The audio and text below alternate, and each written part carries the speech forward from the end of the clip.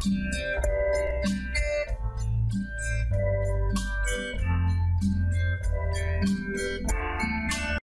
বাদলে চীনকে মক্ষম জবাব দিতে সীমান্তে যে অত্যাধুনিক ঘাঁটি গড়েছে ভারত, অরুণাচল প্রদেশের line of actual control LAC এর কাছে আরও আধুনিক ঘাঁটি তৈরি করতে চলেছে ভারত।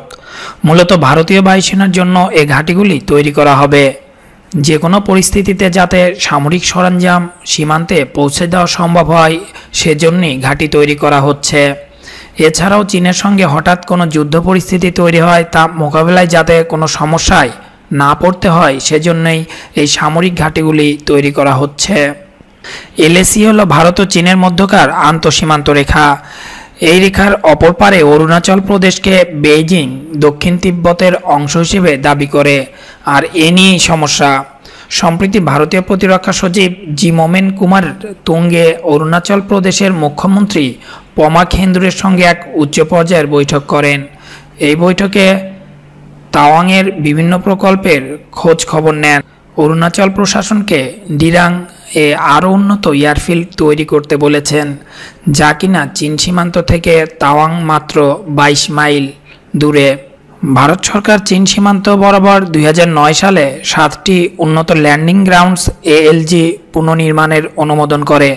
অরুণাচল প্রদেশের এই সাতটি এএলজির মধ্যে পাঁচটি এএলজির কাজ সম্পূর্ণ হয়েছে। ভারতীয় বিমান বাহিনী গত বছর জিরো, আলং, মেচুকা, ওয়ালং এবং পাশিঘাটের এএলজি ব্যবহার শুরু করেছে।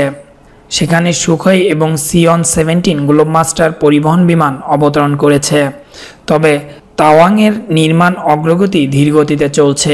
গত ডিসেম্বরে মাত্র উনচল্লিশ শতাংশ কাজ সম্পূর্ণ হয়েছে। তবুও তাওয়াং ভারতীয় সেনাবাহিনীর নিয়ন্ত্রণাধীন রেখে কৌশলগত উদ্দেশ্যে ব্যবহার করা হচ্ছে। ভারত বিজয়নগর এএলজি উন্নয়নের পরিকল্পনাও হাতে নিয়েছে, তবে মিয়াও থেকে বিজয়নগর পর্যন্ত রাস্তা সংযোগ না পাওয়ার কারণে কাজটি করা সম্ভব হয়নি।